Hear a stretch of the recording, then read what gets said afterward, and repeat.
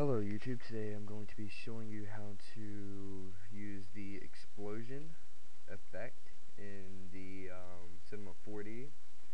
Quite easy to do, and I use it a lot more than the Explosion FX because it's just easier to use and I think it's a lot better. So just go ahead and teach how to do it. Just go and start with the simple 3D text. go. Some 3D text with a little bit of color. Just go and check out how it looks. Yep, pretty good. Now let's go ahead and bring out our explosion. Open up your extruded NURBS. Take your text. Um, pull the explosion below the text. There we go. We got it connected to the text. That's all we need. Now, this is the tricky part. A lot of people will probably, you know, try to just uh, regularly key it. So I'll go and teach you why you can't do that. There we go. Keyed it regularly, but one little twist, it doesn't work.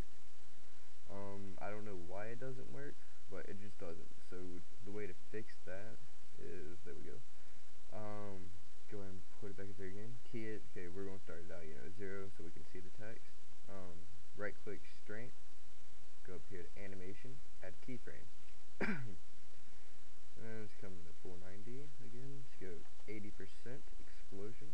No, it's too high. Let's go 30 yeah, there we go, 30, right click, uh, strength, animation, at keyframe. I don't know why this works and the other one doesn't, but um, whatever works, I guess. So if you find this tutorial helpful, um, please just comment, like, and subscribe. Um, if in your comments, please tell me